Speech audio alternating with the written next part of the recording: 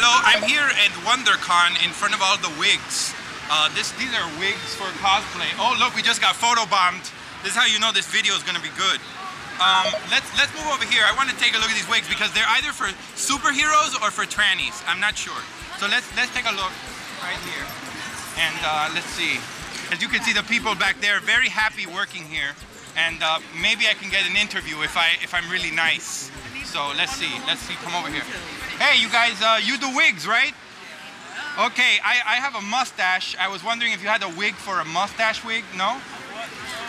Wow. They have rainbow colors. These are lovely wigs. They look like something that I would wear uh, as cosplay and also in West Hollywood. Oh, wait, they're gonna try a wig on me. Here we go. Let's try it. I think, I think that looks very, very, very natural. So it's very natural on very you. Very natural, yeah. Yes. you need a wig. This is where you get one. You're gonna look this good. Cosplay Wig USA.